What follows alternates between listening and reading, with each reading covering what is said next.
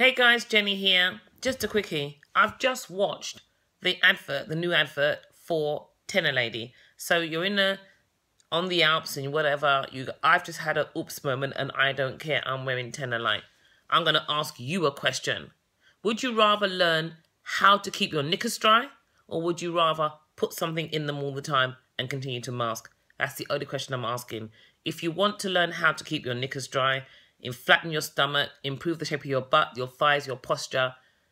Dry knickers always, as I said, and great sex. If you want that instead, then inbox me. But if you're happy to mask, carry on because someone's going to earn some money, but it's to your detriment. Yeah? At least I know that I'm going to empower you. I'm not going to allow you to mask.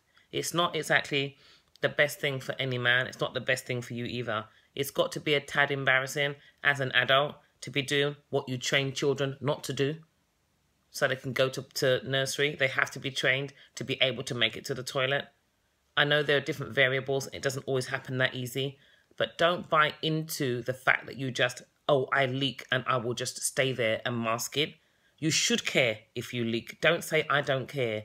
If you don't care, I can't change that. But if you want to change it, I'm here. I'm here. It's all confidential and it's empowering. But trust me, it's my passion because I can't stand it. We, uh, we wasn't designed that way. I don't want to be 53, fit and fabulous with a with a pad in my knickers. It's not my destiny. It's not been my destiny. And by the grace of God, it will never be my destiny. And I don't want it to be your destiny either. So inbox me because I will teach you how to keep your knickers dry at the same time giving you a great body. It starts on the inside, manifests on the outside.